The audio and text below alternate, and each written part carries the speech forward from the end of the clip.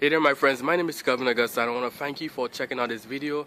I want to also thank you for listening and for watching this chapter of the day from the scriptures. Now I pray that this message is going to be a blessing to you, um, to your family as well, and that you feel encouraged. But also reach out to me on Facebook. Um, I'm going to put my links in the description below um, so that we can connect um, and also help and encourage one another. So I pray that today's message is a blessing to you. And um, I look forward to connecting with you even more. And may God continue to bless you. Bye for now. Psalm 39 To the choir master, to Jeduthun, a psalm of David. I said, I will guard my ways, that I may not sin with my tongue. I will guard my mouth with a muzzle, so long as the wicked are in my presence. I was mute and silent, I held my peace to no avail, and my distress grew worse. My heart became hot within me. As I mused, the fire burned. Then I spoke with my tongue.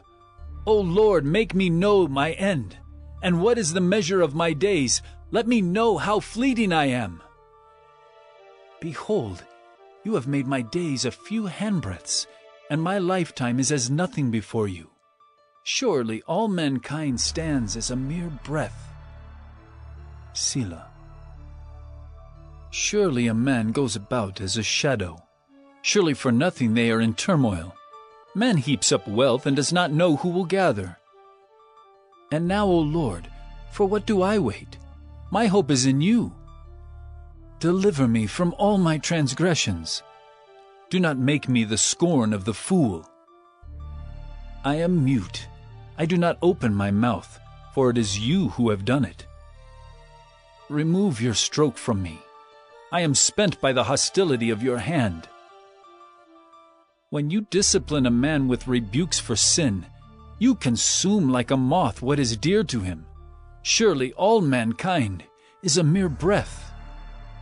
Selah. Hear my prayer, O Lord, and give ear to my cry. Hold not your peace at my tears. For I am a sojourner with you a guest like all my fathers. Look away from me, that I may smile again, before I depart and am no more.